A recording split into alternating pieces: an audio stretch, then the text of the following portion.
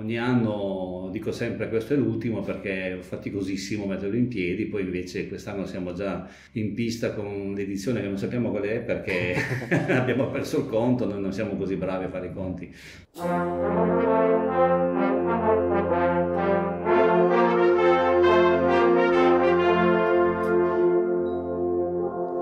Ciao, io sono Nicola e io sono Martina e questo è il podcast del cinquantesimo raduno delle bande musicali valdostane.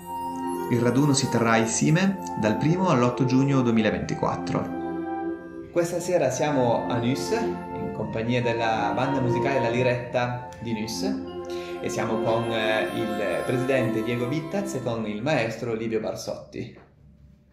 Partiamo con una domanda per il presidente. Noi ci chiamiamo Musica Pelle la Lira, voi vi chiamate la Liretta anche se in realtà siete ben più numerosi di noi. Qual è l'origine di questo nome? Ma l'origine era perché era una banda vicino ad Aosta e quindi si è voluto copiare un po' il nome, però più piccolina rispetto ad Aosta e quindi è diventata la Liretta.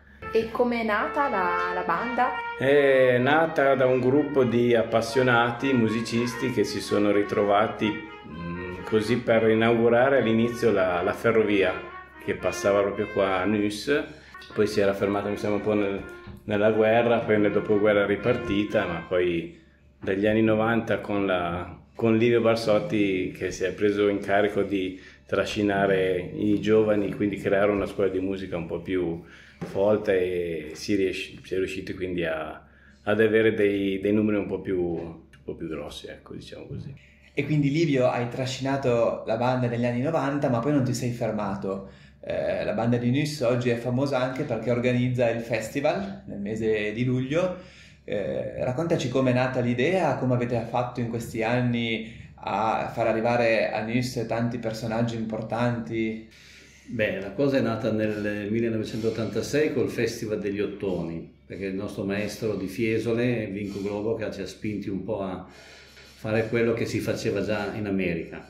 Dall'86 non ci siamo più fermati e credo vent'anni fa il Festival degli Ottoni è diventato il News Festival e con l'intento di far eh, avvicinare dei maestri diciamo di calibro tipo mio fratello Mario Barsotti, tanto per dirne uno, a, ai giovani della banda.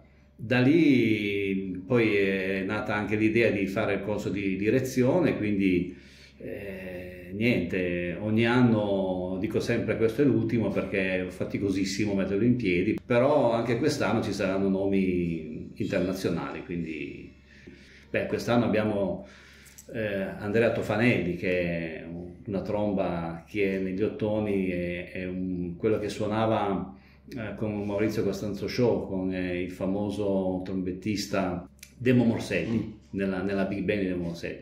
E lui è famosissimo per i suoi suoni bis bis bis acuti, come l'ottavino. Eh, Diego, voi siete reduci dal raduno, siete stati gli organizzatori del raduno 2023, ci siamo insomma passati l'organizzazione di questo importante evento per le bande musicali valdostane, un consiglio che puoi darci? Un consiglio è, è bella domanda perché è riuscire a, a pensare a tutto, a quello che c'è da fare, perché poi alla fine il difficile è riuscire a organizzare proprio la giornata finale incastrare proprio tutto e, e però se si riesce a fare quello poi eh, funziona bene tutto nel senso che poi eh, il giorno clou alla fine è l'ultimo giorno dove ci sono tutte le bande.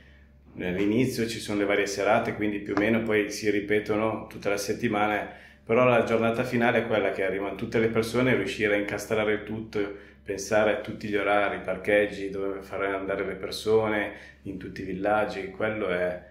Quindi l'organizzazione dell'ultimo giorno è stato veramente impegnativo e quindi il consiglio è veramente focalizzarsi sul, sull'organizzazione dell'ultimo giorno, che secondo me poi dopo è quello che poi rimane anche a tutti i musicisti, perché il concerto sì è, è anche quello fa, però poi l'ultimo giorno tutti insieme se si riesce ad organizzare bene anche la gente è contenta e non fa aspettare le persone, non si annoiano e, e si riesce a fare eh, meglio tutta la giornata. Ecco. Maestro, ci dai un'anteprima di alcuni brani che sentiremo durante il vostro concerto venerdì 7 giugno a Issime? Beh, ehm, diciamo che un brano voi lo conoscete molto bene, che l'avete eseguito al concorso di Valencia. Un brano che era da un po' di anni che lo volevo fare e voi sapete bene che quel brano ha tante percussioni, quindi poi alla fine abbiamo avuto anche dei problemi con la nostra storia. È un brano bellissimo, fra l'altro, Atropos o Atropos, non so come si dica. Poi faremo il brano che quest'anno in prima categoria al concorso di Riva del Garda di, di Feliciani, che parla di un uccello molto colorato, quindi è un brano anche lì dove le percussioni hanno la parte più impegnativa e infine un brano che abbiamo fatto tantissimi anni fa che però era un po' che me lo chiedevano anche loro, Innuendo di, dei Queen, trascrizione di Marco Somodossi. E siamo arrivati però alla fatidica domanda. Che cos'è il raduno per voi? Festa, impegno, eh, amicizia. Vita, emozioni e amicizia.